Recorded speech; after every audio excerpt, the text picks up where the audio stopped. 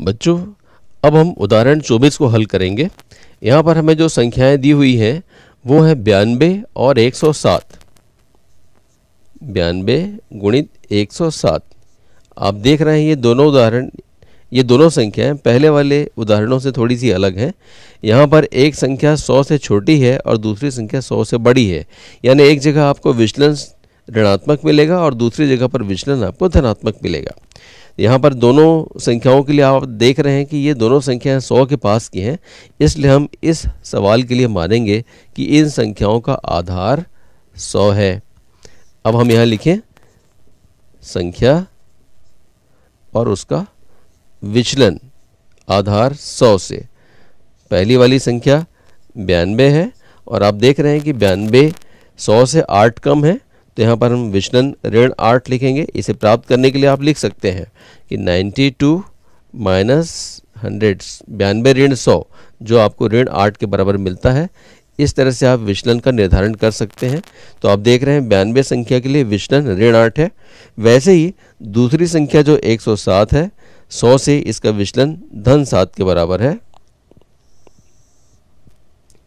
अब आपको फिर से देखना है कि उत्तर का दाहिना भाग, जो विचलनों का गुणा होता है, आठ सात का गुणा छप्पन हुआ।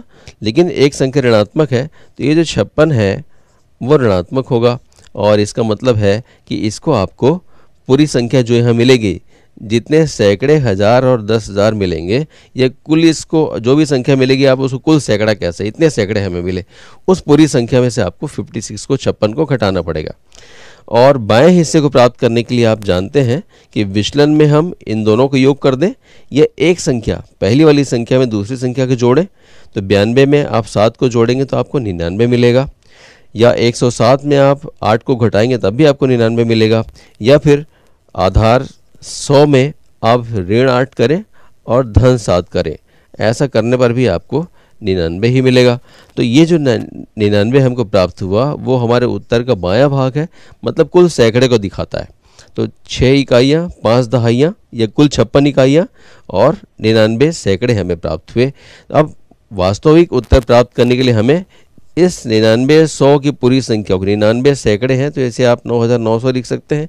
इसमें आपको छप्पन घटाना होगा। छप्पन घटाने पर आपको मिलेगा। दस में छः घटाया तो हमें चार मिलेगा।